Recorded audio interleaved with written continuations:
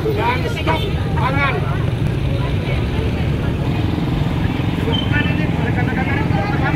Pangan murah, gelar pangan murah dilaksanakan oleh Dinas Pertanian dan uh, Dinas Ketahanan Pangan Provinsi Sulawesi Barat menggelar pangan murah di wilayah Kabupaten Pelemandang. Tempat ini untuk mendapatkan harga pangan yang terjangkau. Telur Mana? Ibu, berapa bu? Masih ada telurnya ya?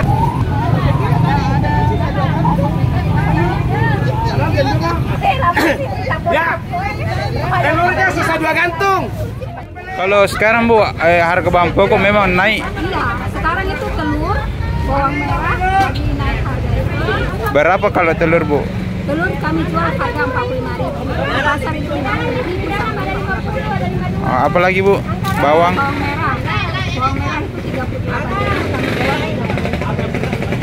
35 ribu tadi di pasar. Kami jual 30 Ini Bu menyasar pasar apa saja? Kami menyasar di pasar besar-besar. Kami sudah melaksanakan di Kecamatan Wonomulyo, Kecamatan Sampaladian, dan Kecamatan Timang- Tinambur. Sekarang ini digelar di Polewali itu sudah dua kali. Pertama di kantor dinas kami, Dinas Pertanian dan Pangan. Di yang kedua ini di Pasar Sentral Polewali. Telur sisa 10 rak. saja